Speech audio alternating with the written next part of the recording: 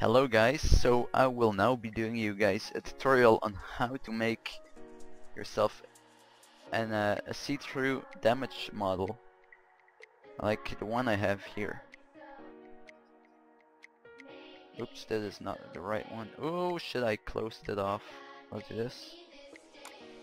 Um, where is it? Where is it? Where is it? Where is it? I can't see it. I, I don't see it. I don't see it. Oh yeah, here it is. Okay.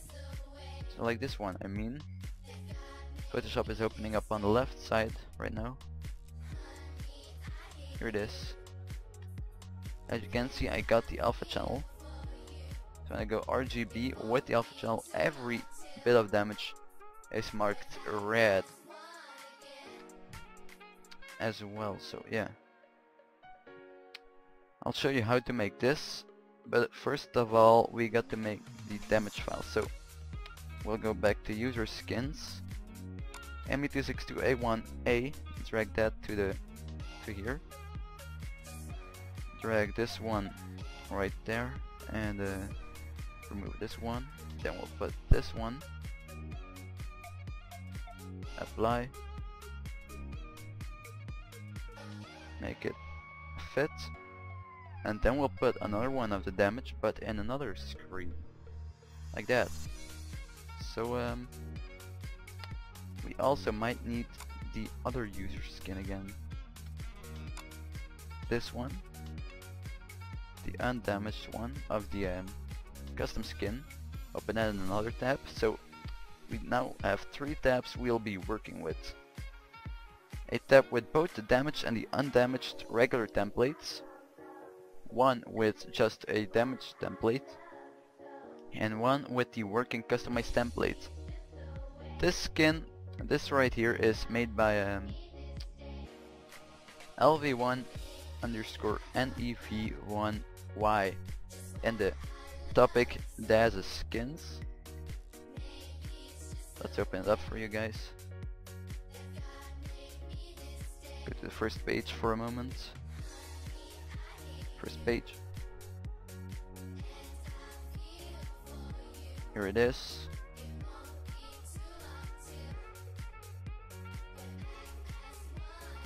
So what we are gonna do now as the first thing is go to the one with both the damage file and the regular file as you can see right here. You want to press right mouse button and go to blending options. Here where you see um, general blending and with blend mode you got to set it from normal to difference. Oops, wrong click. Difference. Press OK. Then you will come up with this. What you'll have to do now is right mouse button with this button, the uh, rectangular mark tool or the polygonal lasso tool. I always use this one because that's the easiest one I can grab. And do color range You'll probably start out with something like this. You'll probably slide it completely to the right to see, but that's not how I do it. I usually I click on the white stuff like this and drag it all the way to the left or let's get a better white like that yes I drag it to the left around 17 I do 17 is best for me in my opinion and I press OK and now you see everything is selected, even the border. So we go to select and do inverse, so we only have the um, necessary parts selected. What we do now is go to the damage file, right mouse button and do blending options again. Go to mode difference, set it back to normal and then do this layer via copy. As you can see now we got a layer with the damage itself. You can do this for like almost every plane there is in the game. As you can see, let's check. Let's take a look at differences. You can see, might see. There are some minor differences right here with the uh, shading a bit. Here as well, here. But you can't perfectionize it like the regular one because that would take a lot a lot of time. This is just a very fast way very easy way to do it. So we now have the um, this file. What we want to do now is get this one and just you know what I'll open a backup. It's this one so I'll drag it back on here apply it and uh, put it right into the corner like this. Then I'm gonna put the um, damage layer on top like that. What we want to do now is go to this one to the damage.tga one. As you can see this is the completely original one just the background it says. And you see here alpha 1 this is what makes the holes see through uh, let's check. You can see duplicate channel but let's not do that. You just have to press this circle right down at the bottom to select the um, the parts but you still got the side selected so that's something we don't want. So you go inverse and only the important bits are marked now. Now you do um, control C or copy and paste it right on this one. So you'll click on the alpha one and just do control V like that and put those visible again and then zoom in on a certain part where you can see it fine and just move it around Oh, it's only perfect spot actually. That's great.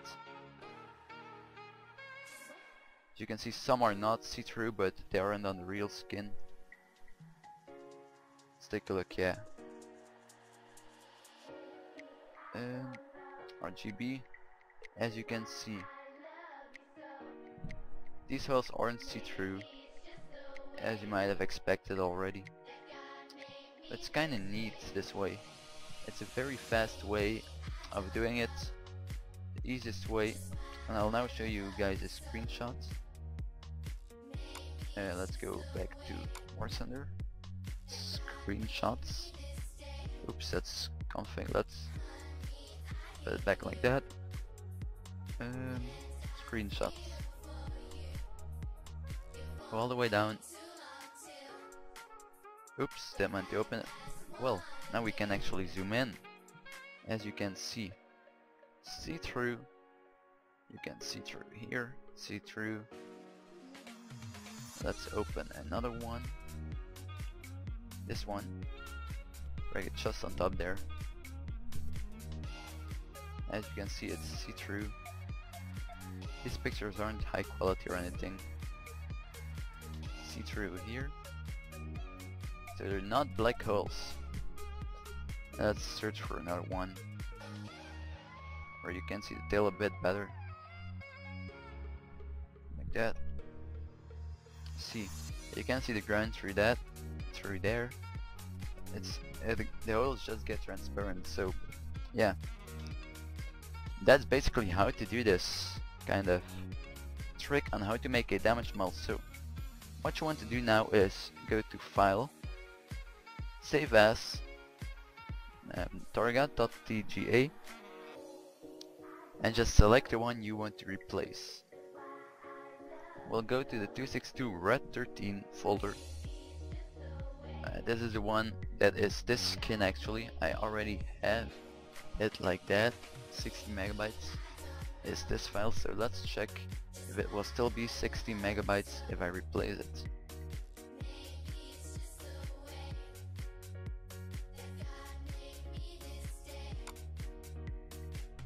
user skins.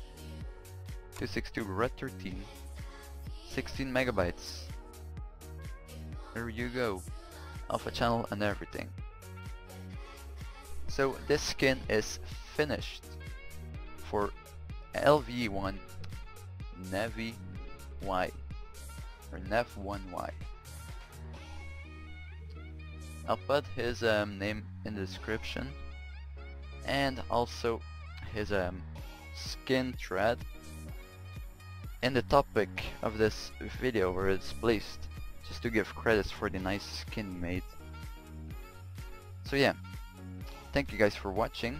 I hope you uh, enjoyed this and uh, well, make some nice skins I would say. Make some nice skins indeed.